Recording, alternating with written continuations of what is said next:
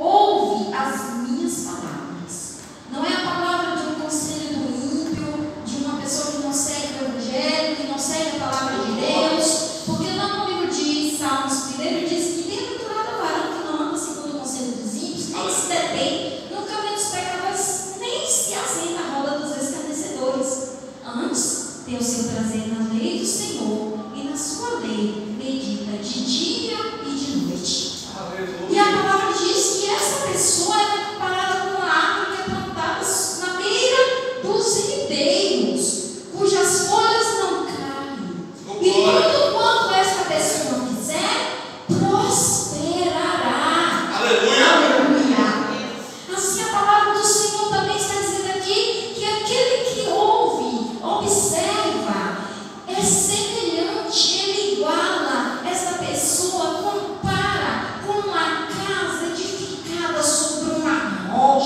bem alicerçada ali,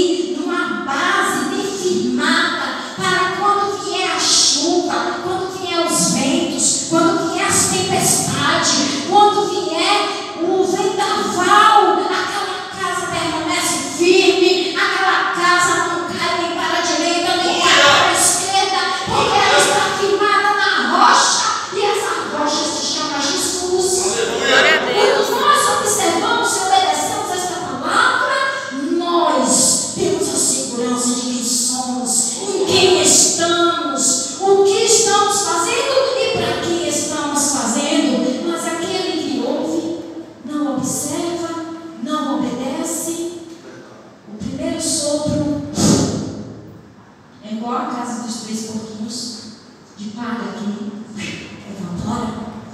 Mas aquele que fica firme, que observa, que guarda, que não desvia para a direita, que não desvia para a esquerda, diz: Não, vou seguir reto. Está escrito que tem que ser assim, então eu vou fazer assim.